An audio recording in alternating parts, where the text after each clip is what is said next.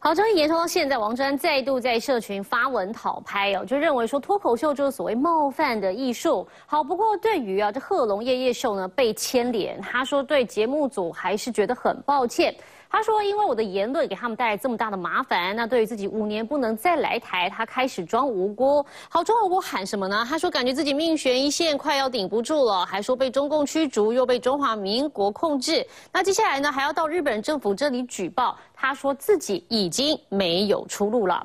好，不过针对整体事件，这网红四叉猫又在脸书抛出这样的图片。他说王志安现在竟然在社群平台问台湾的网友说：，哎，有没有台湾的朋友可以推荐一下台湾的水准比较高的？”人权律师，结果底下的网友就回复，有人回了黄国昌，那甚至还有网友回说，干脆你就找陈俊汉律师来处理吧。好，另外整个事件还在延烧，大家都很生气。那当事人陈俊汉呢也接受我们三立新闻专访。好，他认为王志安不必跟他当面道歉，他说他该道歉的对象是全台湾的身心障碍者。我真的不是很在乎他需不需要跟我当面道歉。那节目制作单位呢？我觉得我比较在乎这。其实，当然制作单位还有写一个在就是这个 YouTube 影片上面有留言愿意跟我道歉。可是说真的啦，就是我真的觉得要不要跟我道歉，我反而不是非常介意。我觉得他们应该要去跟这个社会道歉，或者跟这个社会反省检讨，说他们这样一个。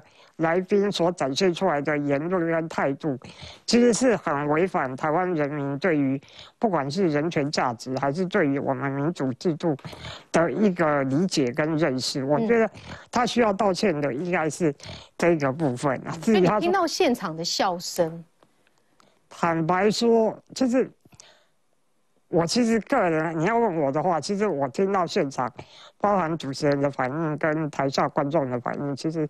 我是觉得有一点讶异，有一点失望，因为我觉得台湾的社会应该是已经走到了一个我们对于一些人跟人基本的尊重，还有甚至包含一些社会弱势族群的尊重。我觉得台湾绝大多数人其实是有这个共识跟这样的一个体认的。可是，在现场的年纪，当然我可以，我也了解，就是那个节目本来就是以。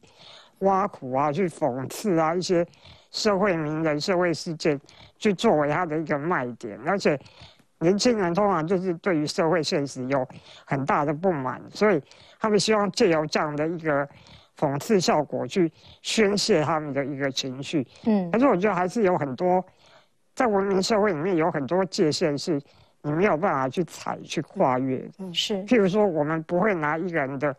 种族不会拿一个人的国籍，或者拿一个人的性别，还是他的宗教信仰、身心障碍这一些东西，来作为一个揶揄嘲笑的对象。我觉得，当你跨过了这一条线的时候，你其实就已经不能够再去说这是什么言论自由的保障。嗯，这已经是一个文明社会没有办法接受的点。